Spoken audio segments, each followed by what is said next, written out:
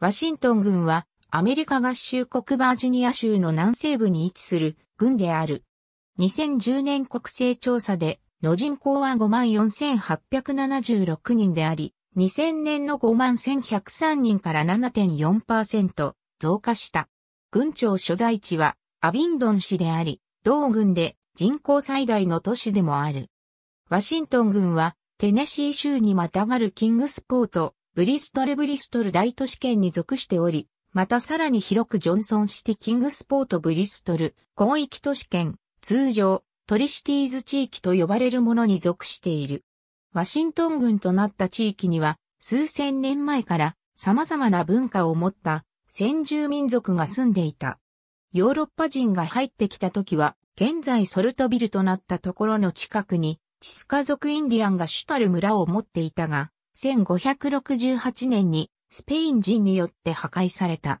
1671年頃にチェロキー族がフアレー族からこの地域を取り上げた。ワシントン軍は1776年にフィンキャッスル軍から分離してヨーロッパ系アメリカ人によって設立された。軍名は当時大陸軍の総司令官だったジョージ・ワシントンにちなんで名付けられた。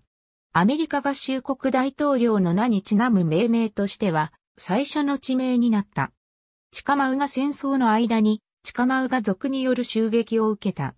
1776年7月、ドラッキングカヌー州長がブラックの砦に対する攻撃を率いた。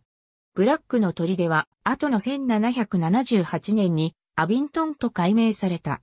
1794年、ワシントン軍で、チカマウが族指導者、ボブ・ベンジが開拓者に殺されるまで、この地域はインディアンの攻撃を受け続けていた。他の多くのフロンティアにあった軍と同様に、ワシントン軍の領域は長い間に何度か修正された。1786年、軍北部がラッセル軍となった。1814年、残り領域の西部とリー軍、ラッセル軍のそれぞれ一部を組み合わせ、スコット軍が設立された。1832年、軍北東部とワイス軍の一部を合わせて、スミス軍が作られた。最後は1890年にグッドソンの町が独立市のブリストル市として法人化され、ワシントン軍は現在の大きさになった。